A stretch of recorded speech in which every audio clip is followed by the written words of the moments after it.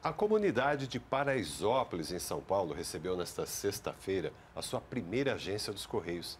Mais de 100 mil pessoas terão acesso facilitado aos serviços postais. E a ideia, Roberto, é expandir o projeto para outras comunidades do país. Esta é a primeira agência dos Correios em uma comunidade do Brasil.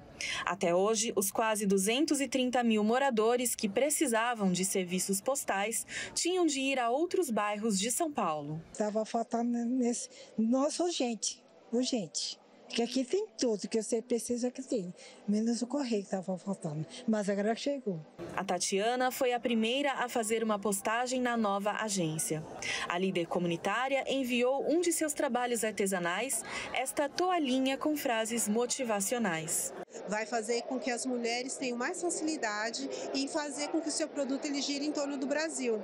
Então, é muito importante que o correio venha e que essa agência realmente funcione, que todas as mulheres saibam como fazer essa postagem de uma forma bem com valor reduzido, né? E vai chegar em todo lugar do Brasil. Paraisópolis tem cerca de 500 vias entre ruas e avenidas, mas existem também aquelas pequenas passagens que são as vielas. A novidade aqui é que além desta agência que foi inaugurada hoje, 173 vielas ganharam um novo CEP. É a pessoa se sentir digna, saber que onde ela reside tem um reconhecimento, tem um endereço, tem CEP, que não só para a agência dos Correios, mas também para outras situações, para chegar uma, uma ambulância conseguir localizar o endereço. O projeto de levar agências a comunidades vai se estender para outras partes do país. Esse é um projeto que foi um projeto piloto que nós estamos fazendo, então nós estamos desenvolvendo esses modelos. É, a ideia é expandir.